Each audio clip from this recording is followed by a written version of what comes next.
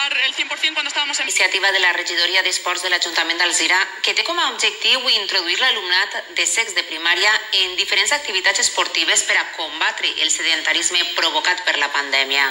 Varen començar amb el pàdel i, atès l'èxit, han pres el relleu la natació, l'handbol i l'alterofília.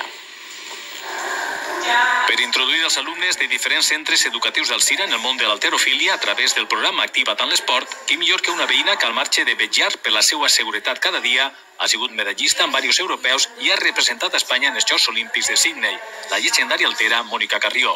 Durant la primera part, Mònica imparteix una xerrada teòrica on dona a conèixer les nocions bàsiques i la seva experiència personal.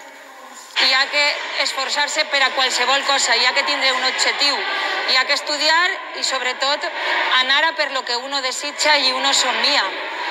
I de la teoria passem a la pràctica en el gimnàs Julián Perea, on al marge de la pròpia Mònica ressalten instantànies d'altres afamats alteres locals com el seu germà Lorenzo Carrió, Gemma Peris o Estefania Juan.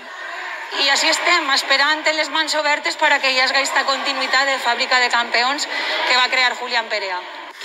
Els menuts es familiaritzen amb els diferents aparells i assisteixen a una exhibició per part d'alguns integrants del Club d'Alterofília del Cira abans de fer una posada a punt seguint les indicacions de Mònica. Són xiquets, només hi ha que treballar la tècnica, no quilos. I a partir de l'edat en la que estem treballant este projecte, el sisè, és quan ja se pot començar a treballar la força.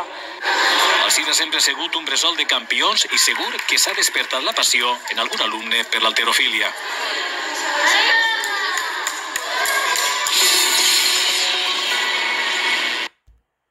clasifica para.